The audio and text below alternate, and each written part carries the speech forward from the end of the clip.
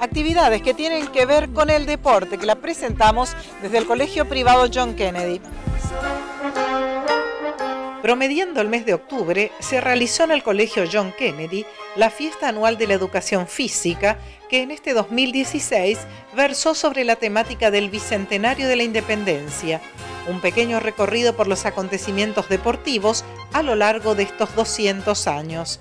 Con dedicación, alegría y entusiasmo, y con la guía de sus profesores, los alumnos de los niveles inicial, primario y secundario participaron de esquemas y coreografías mostrando habilidades físicas y deportivas trabajadas durante el año.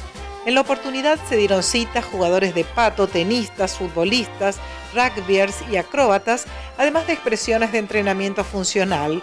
Hubo un homenaje a Juan Manuel Fangio y se pudo disfrutar de las habilidades gimnásticas de los equipos que representan a la institución.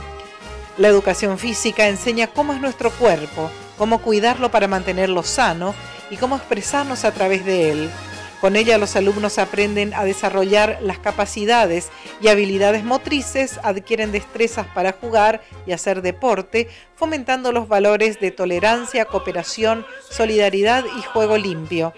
Los directivos del colegio agradecen a las familias que confían en la propuesta educativa, a los docentes por su esfuerzo y compromiso y a todos los que hicieron posible el éxito de esta gran fiesta.